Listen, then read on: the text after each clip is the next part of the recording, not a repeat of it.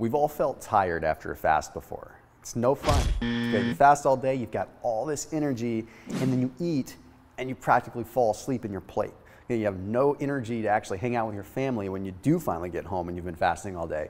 So I want to address what's causing this, but I want to skip through that as much as I can and get straight to the point and give you four ways that you can combat the fatigue after a fast so you don't have to deal with this. It doesn't have to be this way. You can harness the energy of a fast and you can keep it going throughout so you maintain that nice continuity. You're tuned into the internet's leading performance, nutrition, and fat loss channel with new videos on Tuesday, Friday, and Sunday. I ask that you go ahead and hit that red subscribe button and then hit that little bell icon so you get notifications whenever I go live or post a new video. So the first thing we have to talk about is the obvious reason of why you get totally tired after you eat. That's going to be simple postprandial fatigue. Okay, that's just where you have a diversion of blood flow. This is no surprise. You guys probably know about this. All the blood that is normally circulating through your body and your brain is now diverted over to the digestive system. This takes energy. Okay, but that's not fun. We want to get down to the nitty gritty of stuff. Where things really get interesting is when we start looking at insulin. Okay, we know that carbohydrates are going to spike your blood glucose, which therefore is going to spike your insulin, and that could cause a rise and fall of blood sugar. Sure, that's going to make you tired, but it's not just about the blood glucose. It actually goes much further than that. You see, when you're fasting, you're very insulin sensitive. And what that means is that whatever you do eat is going to have a compounded effect because you're so sensitive you haven't been eating all day. So the second you do eat, your body just goes into hyperdrive to try to react to whatever you just ate. It's not bad, it's just the way it is. Okay, so if you are consuming carbohydrates, then sure, you're gonna have a bigger rise and fall of blood glucose than you ordinarily would. But a lot of you don't even eat carbs after you break a fast, so why are you getting tired? Well, more than likely, it still has to do with insulin. You see, insulin, whether you consume carbs or not, is still going to be present. Okay, it's going to be present if you consume fats, it's going to be present if you consume carbs, and to some degree, it's even going to be present when you consume proteins. Okay, and the main reason that insulin is going to make you tired is because insulin blunts what is called orexin. Orexin is a neurotransmitter that promotes wakefulness. Now, I'm not talking about energy, I'm talking about wakefulness. Let me help you understand sort of that delineation there. Okay, energy is where you just you, you have energy. You just you feel like you could go out and run and sprint but maybe you're still tired right? You can still be foggy you could still be tired and sleepy but have energy. Wakefulness is where your body can still be fatigued but you're awake. A perfect example of when orexin is high is when you have insomnia when you're laying in bed and you feel tired but your mind is so awake. Okay to some degree we want orexin to be there. To some degree we don't. We want the perfect balance. But as soon as we eat and we spike our insulin, orexin plummets. And that makes us feel sleepy and just generally fatigued. Not something we always want, especially right when we're getting home, right? Now, there's other things that happen too. Insulin also upregulates the concentration of what's called melanin concentrating hormone, or MCH. And MCH has a big effect on putting us to sleep. MCH is a big regulator of that. Okay, so you might be wondering, like, what the heck? I'm only eating like fats and protein when I break my fast, so then why am I even having a spike of insulin? What people don't often understand is that fats spike your insulin a lot too. Okay? When you consume fats, they trigger something known as acylation stimulating protein, ASPs. Okay? These ASPs indirectly stimulate insulin spikes. So by default, we do still spike our insulin. And remember, because you've been fasted, you're extremely insulin sensitive. So the fats that you do consume can be spiking your insulin, okay, which therefore can inhibit orexin can upregulate the MCH and make you very, very tired. So without further ado, let's talk about how to combat this. How do we get around this?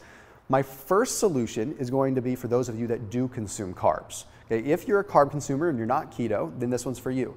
You're going to want to consume chromium when you break your fast. Trust me, it makes a big difference. Usually anywhere from 1 to 3,000 micrograms of chromium does the trick. And here's what chromium does. Inside our cells, we have something known as a GLUT4 transporter, and it sits inside the middle of our cell. And then when our cells see glucose or insulin, that GLUT4 transporter moves to the outside of the cell to greet the carbs and let them come in. So I want you to sort of view it as like a Walmart greeter. Okay, moves to the front of the door. Says, "Hey, how are you? Come on in." Okay, that's what GLUT4 does. Now, a lot of times GLUT4 doesn't get activated for whatever reason. Chromium makes it so that the GLUT4 gets activated a lot easier through various genetic pathways.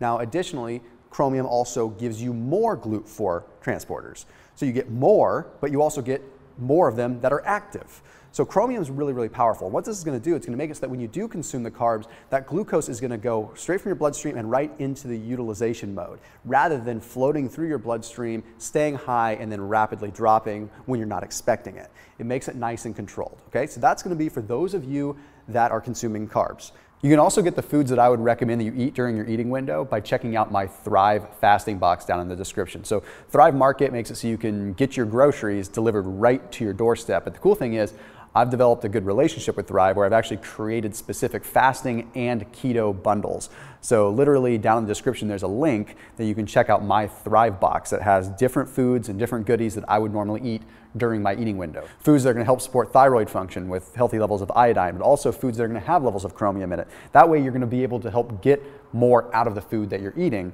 by eating good quality food in the first place. So go ahead and check them out down in the description below after you finish watching this video.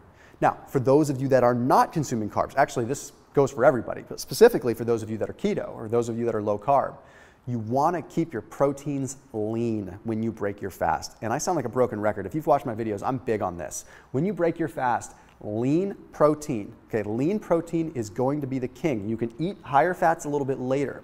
See, the lean protein is going to slightly spike your insulin, but not much.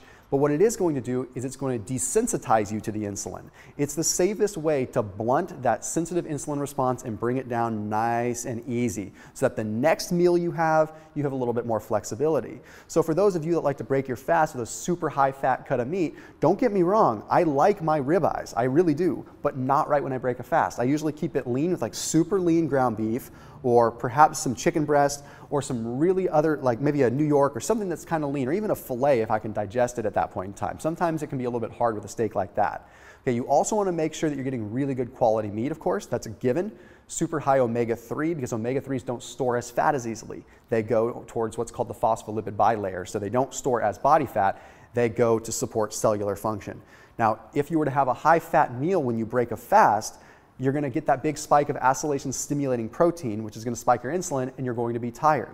But again, you can have the higher fat cuts of meat an hour later, but just break your fast with lean protein, and that's really it. The next one is going to be about having a little bit of fiber, little bit. Okay, and we want a lower fat form of fiber. So usually something like a psyllium, and I want a soluble fiber. Okay, I don't want an insoluble fiber because that's hard to break down. Soluble fiber is okay. It's still hard to digest, but it's hard to digest in a different way. It's hard to digest because it doesn't even mechanically digest. It goes into your system, it draws water in, and it creates sort of a gelatinous like kind of fiber for you. So all you need is like one or two grams of fiber in a soluble form to have a big effect. I'm not a big fan of combining fats and carbs, and I know some people will say if you combine fats with carbs, it slows the digestion of those carbs. That's true, but it also can slow down the fat loss, which I've talked about in other videos. So in this case, a small amount of fiber, small amount of chia, small amount of flax, or better yet, a small amount of psyllium along with whatever you're consuming, because it is going to make it so that you at least don't have as much of a blood sugar impact. And this fourth reason is flipping things on its head. Okay, this is just giving you a new way to look at fasting. Try fasting from morning to morning instead of evening to evening. Okay, try breaking your fast in the morning and then, first of all, you're not going to have as many circadian or diurnal rhythms working against you, but you're also going to have a lot more flexibility to have caffeine. This is something that I've discovered somewhat recently trying to fast from morning to morning or doing a 36 hour fast where I fast from like, uh, you know, the evening all the way through the next evening and through to the next morning. I actually find that I can break my fast that way and not be nearly as fatigued. But also because I don't mind having some coffee or some tea along with that meal, whereas ordinarily I wouldn't really want to have coffee or tea with an evening post fast meal. It would just keep me up. So that's just a different way of looking at things. So that's four ways that you can get the most out of your fast while still not only keeping lean, but not getting tired. So you can give your family the attention that they deserve or still get some stuff done when you get home from work. So as always, keep it locked in here on my channel. I appreciate your time, and if you have ideas for future videos, put them down below in the comment section. See you soon.